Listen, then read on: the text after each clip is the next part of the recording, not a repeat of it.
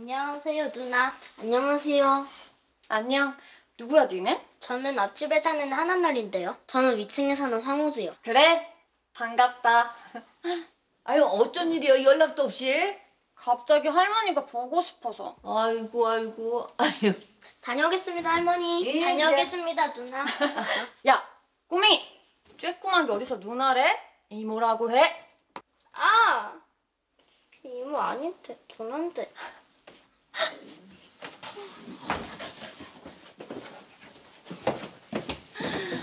할머니가 애들 간식까지 챙기는 거야? 힘들겠다. 아이 힘들긴 무엇이 힘들어 저 새삼 저 손주 키우는 맛도 나고 재미죠 어 어 꾸러떡했는데 마치 어 먹어봐 맛있겠다. 손 씻고 올게요 그래야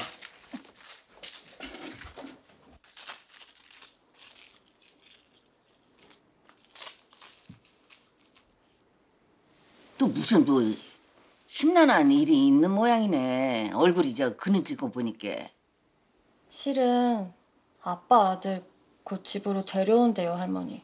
아휴 그렸구만 에휴 나그애 얼굴 못 볼 것 같아. 얘는 아무 죄 없는 거 알지만 결과적으로 걔 때문에 엄마가 이렇게 된 것 같단 말이야. 네 심정은 이해 가는디 아 네 말마다나 아가 뭔 죄요? 진짜 동생으로 받아들이기도 하라고? 아 그냥 그러려니 해요. 어쩌겠어 네 애비 핏줄인데. 아이 그러니까 얼른 혼인을 해그 집서 저 마음고생 그만하고. 아네 엄마 어젯밤에 형준이 엄마 만나고 왔어. 아 그쪽서도 너 저 학수고대 한다는데 뭘 망설여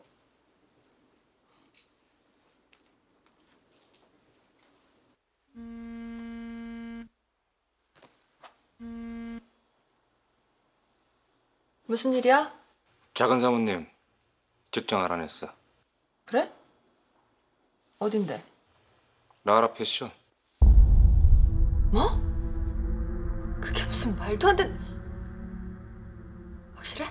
출퇴근 동선 확인됐어 부서는? 아직 거기까진 빨리 확인해봐. 빨리!